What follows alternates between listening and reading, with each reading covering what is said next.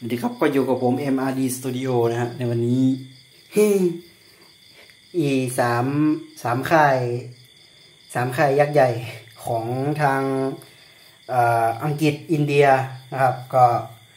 พากันมาเซอร์ไพรส์อีกแล้วนะครับ กับโมเดลรถ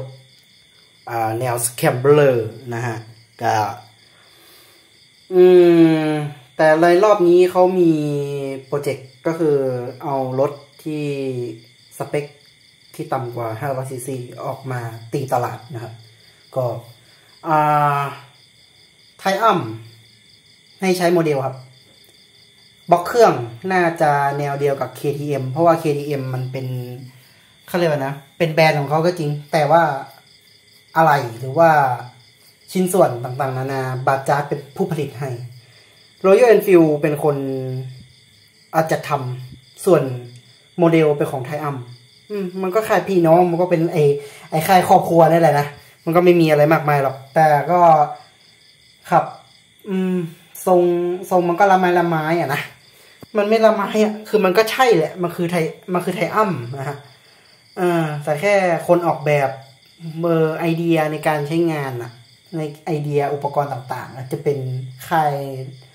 น้องๆ หรือว่าเป็นพวกของบาจาร์ KTM อะไรเงี้ยช่วยครับ อือฮึมันก็ จะว่าไงดี นั่นแหละ ต้นปีหน้าหรือเปล่า หรือว่าเป็นปี 2023 ไปเลยนะครับ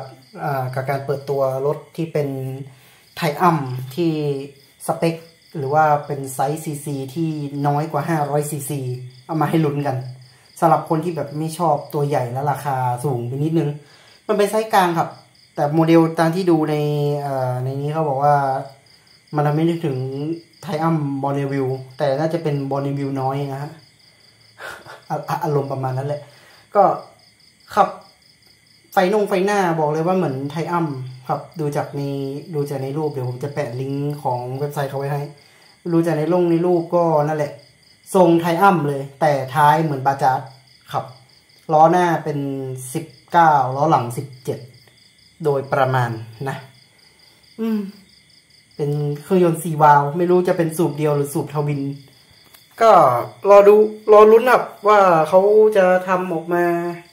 จะมาทำให้ wow ขนาดไหน ก็ขนาด Royal Enfield ขนาดตอนนั้น Meteor ออกมาเสร็จก็ยังมีคลาสสิกออกมาด้วย ก็นะครับ รอดูไปก่อนแล้วกันเนาะว่าสำหรับปีหน้าจะมีค่ายไหนที่ออกมาเล่นอะไรนะครับ ก็สำหรับวันนี้ MRD ก็สวัสดีจ้า